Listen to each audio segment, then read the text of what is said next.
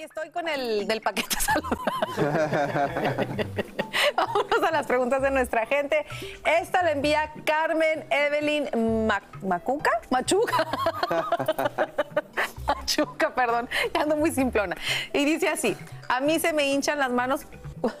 me dio mucha risa. Cuando estoy en un lugar con mucho calor. ¿A qué se debe eso, doctor?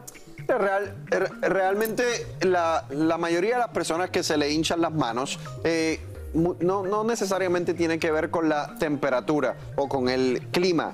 Eh, si tienes artritis, debería ser el clima más frío realmente el que te causa hinchazón en las manos y dolor. Entonces, en, el, en tu caso, como lo estás asociando más al calor, mi instinto me dice que no tiene mucho que ver con el calor. Puede ser, número uno, algún medicamento que estés consumiendo, puede ser que estés eh, consumiendo demasiado sodio, demasiado sal en tu, en tu dieta. Obviamente, verifícate tus laboratorios para asegurarte que tus eh, riñones están eh, bien, que tu tiroide, por ejemplo, está bien y que no hay otra causa realmente que explique esa hinchazón en las manos. Para aquellas personas que por artritis, por ejemplo, se le hinchan las manos, le duelen, acuérdense que eso se debe a inflamación.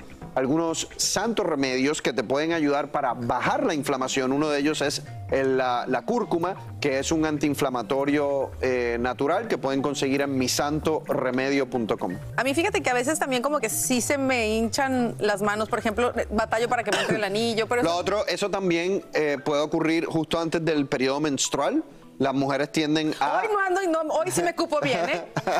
las mujeres pueden eh, aumentar la, retención de líquidos, Qué locura. A mí, pero sabes que yo lo noto más en la mañana, por alguna razón.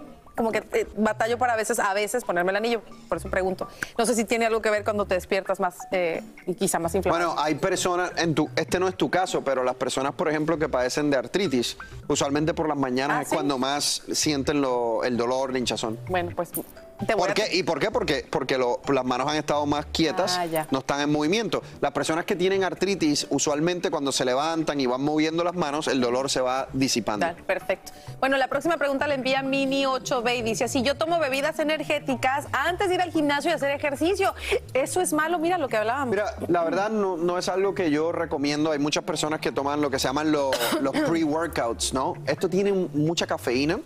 Entonces, puede ser que a un porcentaje mayor de personas no les pase nada, no les haga nada. ¿Y los aminoácidos? Eh, los aminoácidos eh, es diferente. Es distinto, no son malos, pero usualmente lo que es aminoácidos, que son lo que, lo que hacen la proteína, eso es bueno tomarlo después, en los 30 minutos después, cuando el músculo realmente quiere absorber eh, proteína.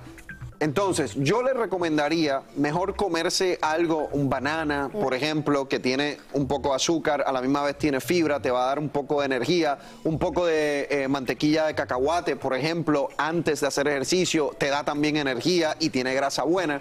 Yo prefiero que hagan eso a que se tomen una bebida energética porque van a haber algunas personas que eso no les va a ir bien, les puede dar lo que hablábamos, las palpitaciones y otros efectos secundarios que realmente no, no les va a hacer bien. Fíjate que a mí por alguna razón se me antoja como una cucharada de crema de cacahuate de maní antes de hacer ejercicio. Y es muy bueno porque te da mucha energía tiene sus calorías, pero te da mucha energía y a la misma vez eh, tiene el, el, omega 3.